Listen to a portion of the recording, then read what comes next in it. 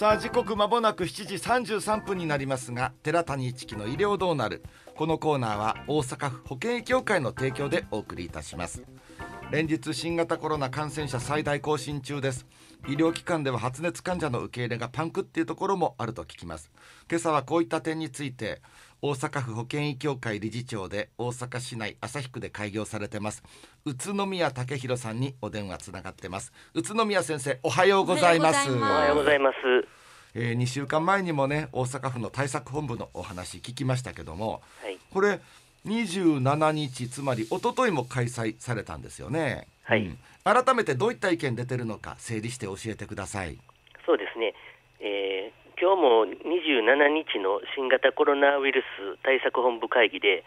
専門家の方がどういった意見を出しているのかをまあ紹介したいと思います。はいお願いします。まず感染状況につきましては季節性のインフルエンザのピーク時の感染者数と同じレベルになっているとの指摘がありまして、うん。まだ第7波のピークは迎えておらず行動制限の推奨が伴わない夏休みになっており人の流れも増えておりまして減少に転じていく要因が見当たらないという指摘がされています。はい。また小さなお子さんの感染が拡大しておりまして小児病床の逼迫が懸念されています。あの大阪府のね毎日更新されている新型コロナの発生状況を見てますとこの1週間、まあ、感染者2万人を超えてますし検査の陽性率もこれ先生50%超えてるんですよね。はい大体最近の日々の検査は4万件を超えておりまして、うん。第6波の時より検査数も多くなっていますけれども、はい。委員の方からは陽性率が50%を超えているということは相対的に検査の数も足りていないんだということを示唆しているとの意見もあります。検査を求めて何件も医療機関を回っていたという患者さんも多いと思いますが、うん。医療現場では検査の受け入れ人数に限界があるということでそれに加えて PCR 検査に必要な試薬が足らずすべての方に検査ができない医療機関が多く出ています。うん。また簡易式の検査キットも足りない状況で現場は混乱しています。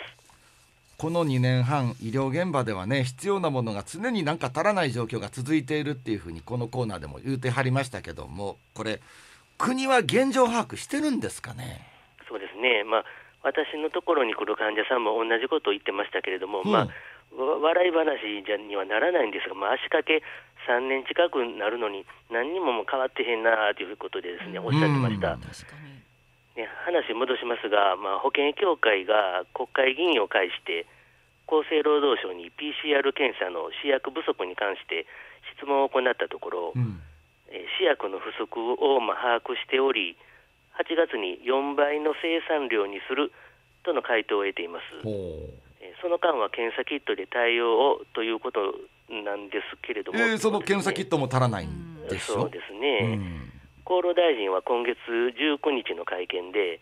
必要な流通量は確保しているんで、えー増産増やす必要はないという考えを示しておりますが、うん。医療現場では足らないうん。必要な方に検査ができない状況は今も続いているわけですこれなんとも言いようがないですね先生ね。はい。うん。足らないのは物だけではなくって本部会議では濃厚接触や感染そして保育所の一時閉鎖などで、えー就労就労できない医療スタッフの欠勤する数が多くなっておりは通常の医療提供体制を保てない状況になることが考えられると指摘されています。あまあ、実際あの厳しい人員状況で医療回ってないっていう報道もありますよね先生ね。はい、からは医療現場は破綻しているが医療現場の外では普段と変わらない社会生活が営まれており異常な状態であるという厳しい意見もあります。なるほど。そして家族以外の方との感染対策が徹底されていない状況での飲食店などの利用や会食を控えていただきたいという要望する意見も出ております。伺ってますとねこう医療現場から非常に切実な声って出されてるようですけどもはい国の方はねそれでも行動制限はしないと現段階で言ってますよね。はい、対策本部会議でも行動制限しないというメッセージを問題視している節があります。ほう。ある委員は行動制限しないというメッセージが感染対策は不要ということに誤解している人が多いのではと懸念しています、ああなるほど。うん。えー以前の放送でも言いましたけれども、うん。コロナ慣れしてマスクの付着用それから不十分なソーシャルディスタンス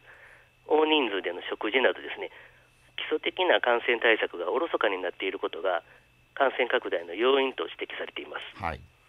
ワクチン接種も含めて基本的な感染対策の徹底をおろそかにしないことがやはり大事だとは思いま思いますね。はい。はい。あの最新の現場の皆さんの声も含めて勉強になりました。先生どうもありがとうございましたいやまあでもねはい。ほんまにあの冒頭大橋さんにもうん。伺ったように3年前と全然変わってないっていうねないコロナ対策何にも変わらないっていうこの学習機能のなさを何とかしてほしいところですよね、うん、このコーナーにも皆さんどんどんお便りください。ファックスメールおはがきの宛先をアッキンお願いします。ファックス番号零七八三六一の零零零五零七八三六一の五番です。メールアドレス毎度アットマーク jocr.jp すべて小文字です。